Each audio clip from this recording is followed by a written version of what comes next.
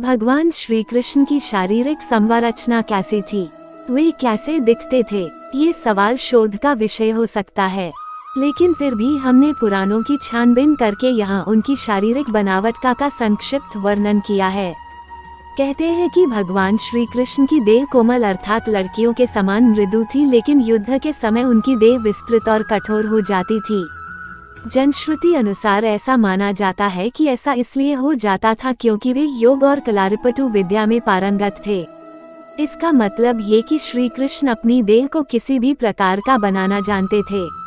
इसलिए स्त्रियों के समान दिखने वाला उनका कोमल शरीर युद्ध के समय अत्यंत ही कठोर दिखाई देने लगता था। यही गुण कर्ण और द्रौपदी के शरीर में भी था।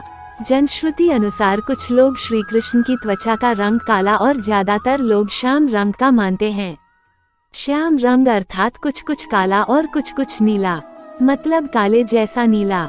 जैसा सूर्यास्त के बाद जब दिन अस्त होने वाला रहता है तो आसमान का रंग काले जैसा नीला हो जाता है। जनश्रुति अनुसार उनका रंग न तो काला और न ही नीला था। ये भी कि उनका रंग काला मिश्रित नीला भी नहीं था। उनकी त्वचा का रंग श्याम रंग भी नहीं था। दरअसल उनकी त्वचा का रंग मेघ श्यामल था, अर्थात काला, नीला और सफ़ेद मिश्रित रंग। प्रचलित जनश्रुति अनुसार माना जाता है कि उनके शरीर से मादक गंध निकलती रहती थी। इस गंध को वे अपने गुप्त अभियानों में छुपाने का उपक्रम करते थे। यही खूबी द्रौपदी में भी थी। द्रौपदी के शरीर से भी सुगंध निकलती रहती थी जो लोगों को आकर्षित करती थी।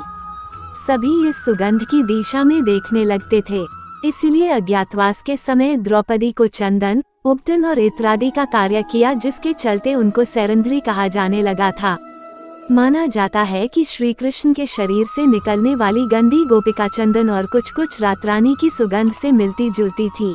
अनुसार भगवान श्री कृष्ण ने जब देह त्याग किया तब उनकी देह के केश न तो श्वेत थे और न ही उनके शरीर पर किसी प्रकार से झुर्रियाँ पड़ी थी।